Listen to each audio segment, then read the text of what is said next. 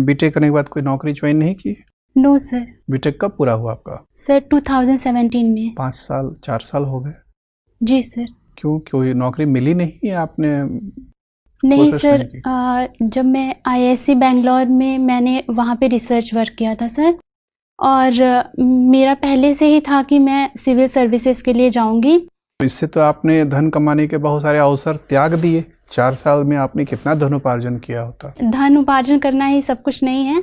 अगर आप अपने जॉब से सेटिस्फाई हो तभी आप एक्सेलेंस हासिल कर सकते हो और खुश रह सकते हो। ठीक है।